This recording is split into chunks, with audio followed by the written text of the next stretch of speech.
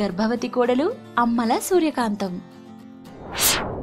ఒకరోజు సూర్యకాంతం సరుకుల కోసం కిరాణా షాప్కి వెళ్తుంది. అక్కడ కిరాణా షాప్ ఓనర్ ఒక గర్భవతి అమ్మాయిపై అరుస్తూ ఉన్నాడు. చెప్తే సమజైతలేదా అమ్మ నీకు? పోయిన నెల సరుకుల పైసలే ఇంకా ఇయ్యలేదు నువ్వు మళ్ళీ ఉదరా ఎట్లా ఇయ్యమంటావు చెప్పు. అని అరుస్తూ ఉంటాడు. ఆ గర్భవతి దీనంగా బ్రతిమాలుతూ ఇలా అంటుంది. అయ్యా మీకు పుణ్యం ఉంటుంది. ఈ ఒక్కసారికి ఇవ్వండి అయ్యా. వచ్చే నెల ఎట్లాగైనా సరే మీ డబ్బులు మీకు ఇచ్చేస్తాను అని ఏడుస్తూ బ్రతిమాలుతుంది. అయినా ఆ షాప్ ఓనర్ ఒప్పుకోడు. పైగా ఆమెను అనరాని మాటలు అంటూ ఉంటాడు. ఇదంతా దూరం నుంచి గమనిస్తున్న సూర్యకాంతం వెంటనే ఆ షాప్ ఓనర్ దగ్గరికి వెళ్ళి ఇలా అంటుంది. ఏంది సేటు? ఏంది కథ? సూర్యకాంతం రావడం చూసి షాప్ ఓనర్ భయపడిపోతాడు. అమ్మా నమస్తే అమ్మా. ఎట్లా ఉన్నారు? అంతా మంచేనా అమ్మా? ఏం లేదమ్మా. పోయిన నెలే ఈమెకి ఉదరాకి సరుకులు ఇచ్చిన పైసలు కూడా ఇంక ఇవ్వనే లేదు.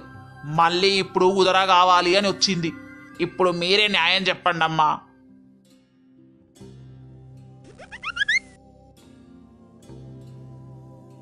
ఏంది సేటు?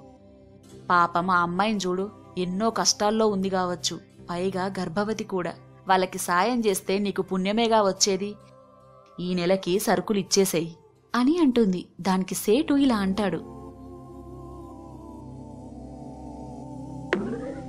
ఈ పాపం పుణ్యం గురించి నాకు పెద్దగా తెలియదమ్మా నాకు తెలిసిందంతా పైసా పైసానే పరమాత్మ. అప్పుడు సూర్యకాంతం వీడు మాటలతో వినడు అని అర్థమయ్యి ఆ షాప్ వాడితో ఇలా అంటుంది. సేటు నిన్న రాత్రి నాకొక కలొచ్చింది. నీ షాప్ కాలిపోయినట్టు ఇనప్పెట్టెలో పైసలన్నీ కాలి బూడిదైనట్టు. ఏందో ఆ కల. అంతే ఏమో. పాపం పుణ్యం గురించి పట్టించుకుని వాళ్ళకి గిట్లనే జరుగుతుంది.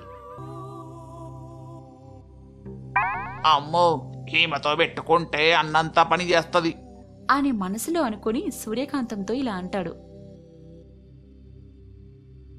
ఎవరు చెప్పారమ్మా? నాకు పాపం పుణ్యం తెలవదని? పుణ్యం గురించి దాన ధర్మాల గురించి పట్టించుకోనని. ఇదిగో తల్లి గీ నెలదే కాదు. వచ్చే నెలది కూడా తీసుకో. అని సరుకులన్నీ ఆమెకిస్తాడు.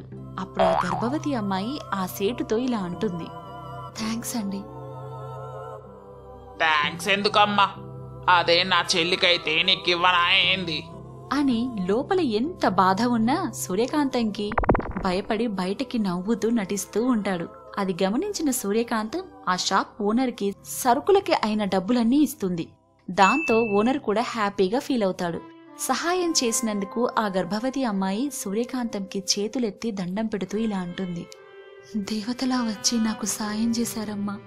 ఎలాగైనా వచ్చే నెలలో మీ డబ్బులు మీకు ఇచ్చేస్తానండి అని అరే ఊరుకో బిడ్డా. నేను అడిగినా ఏంది? మీ అమ్మ నీకిస్తే కూడా ఇట్లనే అంటవా? ఏంది? నేను కూడా నీకు అమ్మలెక్కే. ఇది నేను నీకు పుట్టింటి నుంచి పంపుతున్న సారా అనుకో. సరే గాని నీ పేరేంటి? నా పేరు వాణి అమ్మ. వాణి? చాలా బాగుంది నీ పేరు. అయినా ఏంది పిల్ల? గర్భవతివి. ఇంత నీరసంగా ఉన్నావు. పైగా చాలా కష్టాల్లో కూడా ఉన్నావు. ఏంది బిడ్డ సంగతి? దానికి వాణి ఏడుస్తూ ఇలా అంటుంది. అమ్మా మిమ్మల్ని చూస్తుంటే నాకు మా అమ్మే గుర్తొస్తుందమ్మా. ఎందుకు? నా బాధ మీతో పంచుకోవాలనిపిస్తుంది. నా భర్త ఒక సోమరిపోతు కష్టపడ్డం చేత కాదు. ఎప్పుడు చూడు ఎట్లా అయినా షార్ట్ కట్లో త్వరగా డబ్బులు సంపాదించాలని ఆశపడుతూ ఉంటాడు. అందుకే ఉన్న డబ్బులన్నీ లాటరీలో జూదంలో పెడుతూ ఉంటాడు. అలా జూదం ఆడి ఆడి ఇల్లు పొలాలు ఆఖరికి ఇంట్లో సామాన్లు కూడా అమ్ముకున్నాడు. దాంతో ఇక గతి లేక అప్పు చేసుకుంటూ ఇల్లు నడపాల్సి వస్తుందమ్మా అని ఏడుస్తూ తన బాధ చెప్పుకుంది. అది విన్న సూర్యకాంతం తనతో ఇలా అంటుంది. అరే ఏడవకు బిడ్డ నేనున్నానుగా? కథంతా నేను చూసుకుంటా అని తనకి ధైర్యం చెప్పి తన ఇంటికి వెళ్తుంది. అక్కడ వాణి వాళ్ళ భర్త రమేష్ తన లాటరీ టికెట్ చేతిలో పట్టుకొని న్యూస్ పేపర్లో ఆ నెంబర్ వచ్చిందా రాలేదా అని చూసుకుంటూ ఉంటాడు. ఆ లాటరీ నెంబర్ రాకపోయేసరికి బాధపడుతూ ఇలా అనుకుంటున్నాడు. ఛ! ఈసారి కూడా లాటరీ నంబర్ రాలేదు. ఇప్పుడు ఏం చేయాలి? ఎట్లాగో గట్లగా మళ్ళీ పైసలు సంపాదించి ఇంకొక లాటరీ కొనాలి. వస్తే ఒకేసారి లక్షాధికారి అయిపోవచ్చు.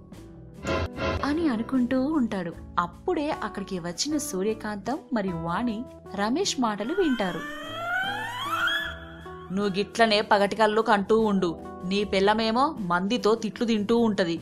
అని అక్కడ జరిగిందంతా సూర్యకాంతం రమేష్కి చెప్తుంది. అది విన్న రమేష్ తన భార్యతో ఇలా అంటాడు. అరే నువ్వేం ఫిక్కర్ చేయకే. ఒక్క లాటరీ తగల్ని. మన జిందగీలే మారిపోతాయి. కొంచెం ఓపిక పట్టు గంతే. అని అంటాడు. రమేష్ మాటలు విన్న సూర్యకాంతం రమేష్తో ఇలా అంటుంది. అదేదో నువ్వు కష్టపడి పనిచేసి సంపాదించొచ్చు కదయ్యా ఓపిక పట్టుడు ఎందుకు? అంతమంది మందితో మాట్లాడిపించుకోవడం ఎందుకు? అని అంటుంది దానికి రమేష్. లాటరీలో ఒక్క రోజులో సంపాదించే డబ్బులు ఎన్ని రోజులు కష్టపడి పనిచేసినా రాదు కదమ్మా. అది విన్న సూర్యకాంతం వీడికి ఎలాగైనా బుద్ధి చెప్పాలి అనుకొని వాడితో ఇలా అంటుంది. సరే అయితే నీకు లాటరీలో గెలిచిన పైసలు వస్తే మా వాణిని చక్కగా చూసుకుంటావా మరి? దానికి రమేష్ అంతేగా?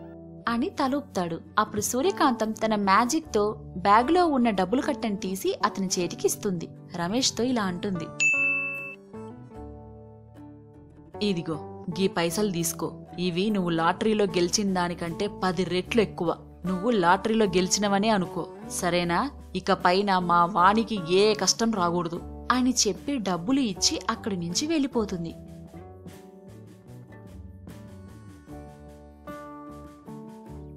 ఒక్కసారిగా అంత డబ్బును చూసిన రమేష్ ఎంతో ఖుషి అవుతాడు. ఆ రోజు మొత్తం చాలా హ్యాపీగా గడుపుతాడు. రాత్రి అయింది రమేష్కి నిద్రలో ఏవేవో కళ్ళు వస్తూ ఉంటాయి. ఒకసారి దొంగలు ఇంట్లో ఉన్న డబ్బులన్నీ దోచుకున్నట్లు ఇంకోసారి ఇన్కమ్ ట్యాక్స్ వాళ్ళు వచ్చి డబ్బుల్ని సీజ్ చేసినట్లు. ఇంకొకసారి దోపిడీ దొంగ వాణ్ణి చంపి మరీ ఆ డబ్బులు దొంగిలించినట్లు ఏవేవో కళ్ళు వస్తూ ఉంటాయి. దాంతో ఆ రాత్రంతా రమేష్కి నిద్ర పట్టదు. అది గమనించిన ఆయన భార్య భార్య ఏమైందండి? అప్పుడు రమేష్ జరిగిందంతా ఆమెతో చెప్తాడు. అది విన్న వాణి రమేష్తో ఇలా అంటుంది. అర్థమైందా అండి? షార్ట్కట్లో వచ్చిన డబ్బు మనకి ఎప్పుడూ సంతోషాన్ని ఇవ్వలేదని. అదే మీరు కష్టపడి సంపాదించింది కాస్తైనా చాలు. కనీసం శాంతిని ఆనందాన్ని ఇస్తుంది. ఇప్పుడు మీ భయం ఈ డబ్బు ఎవరైనా దొంగిలిస్తే ఏంటి? ఇన్కమ్ ట్యాక్స్ వాళ్ళు సీజ్ చేస్తే ఎలా? అనే కదండి. అదే మీరు న్యాయంగా కష్టపడి సంపాదిస్తే మీలో ఒక ధైర్యం ఉంటుంది. ఈ డబ్బులు పోయినా నేను మళ్ళీ సంపాదించొచ్చు అనే కసి పెరుగుతుంది. అంతేకాని లక్తో వచ్చిన డబ్బు మళ్ళీ లక్కుంటే కాని రాదు. అందుకే లక్ని వదిలేయండి. కష్టాన్ని నమ్ముకుందాం అని అంటుంది. అది విన్న రమేష్కి బుద్ధొచ్చింది. వెంటనే ఆ డబ్బులు తీసుకుని సూర్యకాంతం దగ్గరికి వెళ్ళి ఇచ్చేస్తాడు. తనని చూసి సూర్యకాంతం మనసులో ఇలా అనుకుంటుంది. నువ్వు గిట్ల మారాలనే నేను నిన్న రాత్రి నీకు ఆ కల వచ్చేలా చేసిన. నీ భార్యతో గట్ల చెప్పించిన. అని అనుకొని తనతో ఒక కిరాణా షాప్ పెట్టిస్తుంది. అప్పటి నుంచి రమేష్ ఎంతో కష్టపడుతూ ఉదరా అడిగే స్టేజ్ నుంచి ఉదరా ఇచ్చే స్టేజ్కి పెరుగు. సూర్యకాంతం పొద్దున్నే లేచి స్నానం చేసి తను పుట్టింటి నుంచి తెచ్చుకున్న తనకిష్టమైన అద్దం ముందు కూర్చొని ముస్తాబవుతూ ఉంది. వామ్మో! ఈ రోజు ఏంటి నేను ఇంత అందంగా కనిపిస్తున్నాను? ఏ మాటకు ఆ మాటే చెప్పుకోవాలి నా అందం గురించి. అది చూసిన ఆమె అత్తగారు సూర్యకాంతం మూతి తిప్పుకుంది గిసొంటి అందగత్త గీ ఇంటికి కోడలిగా రావడం అంటే నా మొగుడు ఎంత కిస్మత్ చేసుకొని ఉండాలి? మేకప్ చేసుకుంటూ అస్సలు అత్తగారిని పట్టించుకున్నట్టే చేస్తోంది. తనని అలా పట్టించుకోకుండా ఉన్న కోడల్ని చూస్తే సూర్యకాంతానికి ఒళ్ళు మండిపోతోంది. ఎప్పుడు చూడుగా అద్దానికి బల్లిలా అతుక్కుపోవడమే తప్ప జర అత్తగారికి ఇటు వచ్చి సాయం చేద్దామన్న జాస ఈ పొల్లకుండానే ఉండదు.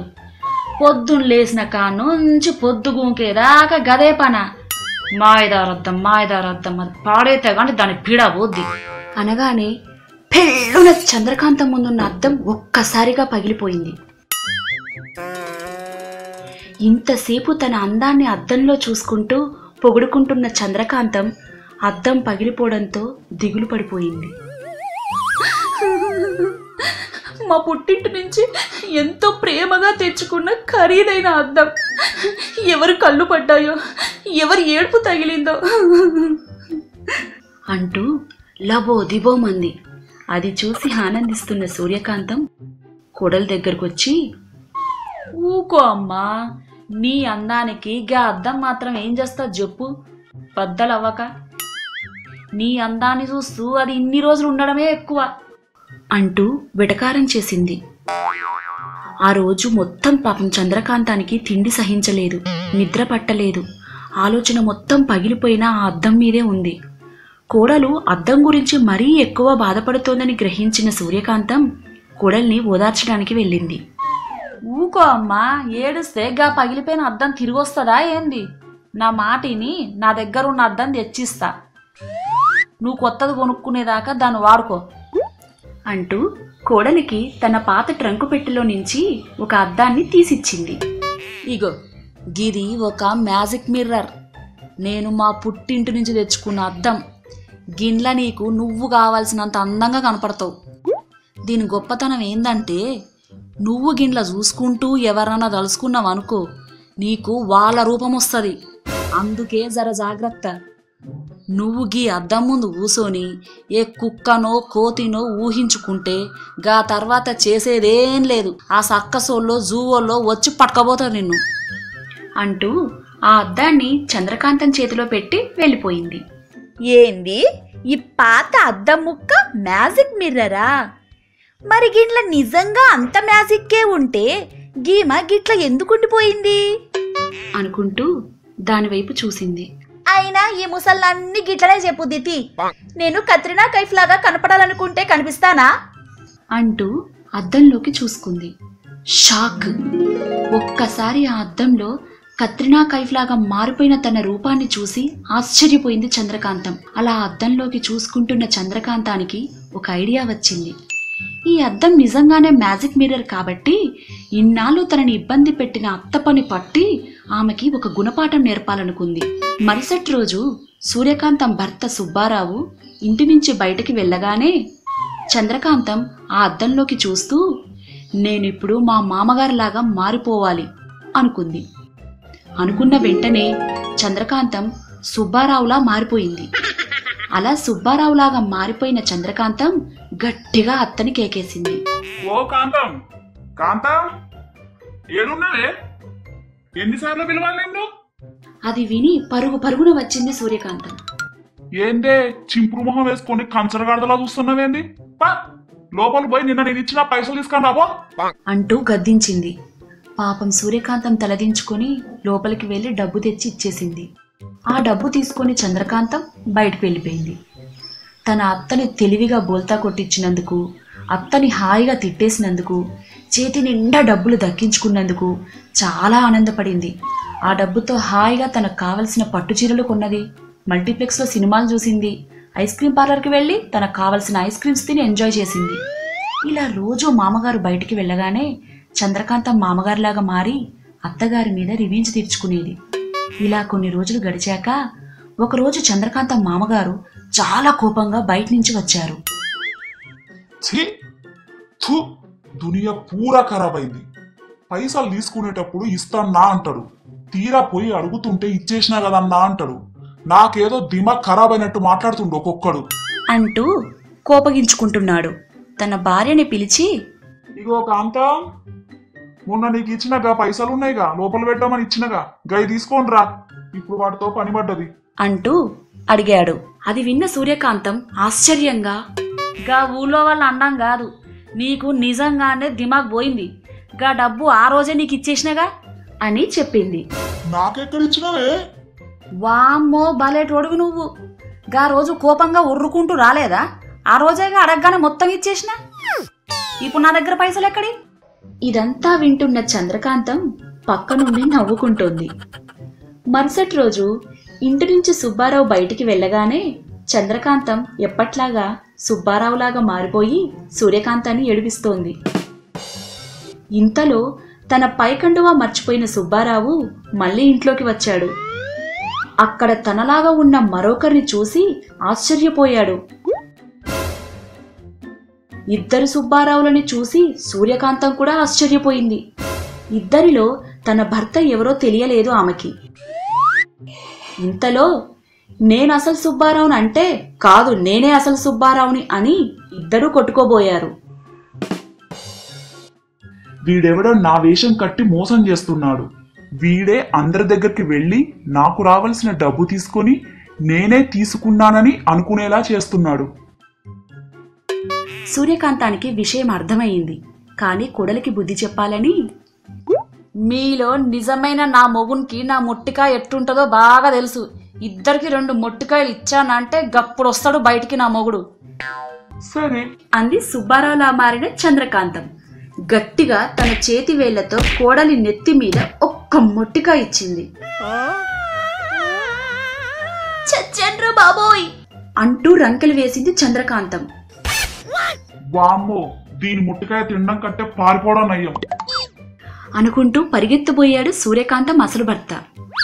అప్పుడు సూర్యకాంతం తన మ్యాజిక్ మిర్రర్ని తీసుకొచ్చి దాన్ని బద్దలు కొట్టగానే ఆ మ్యాజిక్ విడిపోయి చంద్రకాంతం మరలా తన అసలు రూపంలోకి వచ్చేసింది. అది చూసి ఆశ్చర్యపోయిన సుబ్బారావు అంటే ఇన్ని రోజులు నా డబ్బులు కాజేసింది నువ్వా? అంటూ కొడల వైపు కోపంగా చూశాడు. నన్ను క్షమించండి మావయ్య అంటూ తలదించుకుంది చంద్రకాంతం. క్షమించడం కాదు ఈ రోజు నుంచి ఇంటి పని మొత్తం నువ్వే చేయాలా? అంటూ కోడలు చేసిన పనికి పనిష్మెంట్ ఇచ్చింది సూర్యకాంతం.